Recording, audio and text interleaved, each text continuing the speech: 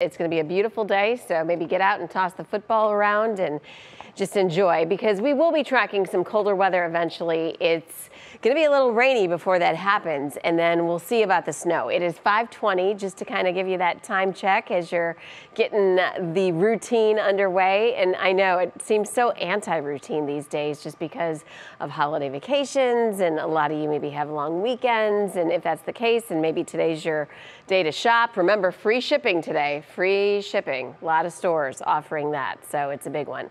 And temperatures are in the 20s to around 30 degrees, which is seasonal for this time of the day. The winds are calm, so it's very, very tranquil and peaceful.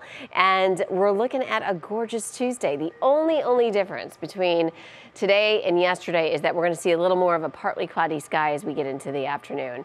But I mean, with highs in the low 50s and normal highs in the low 40s, we are trending well above. And we are seeing that regionally, and in fact, even warmer air than yesterday. And we're going to tap into this even warmer air before it gets cooler and more seasonal again.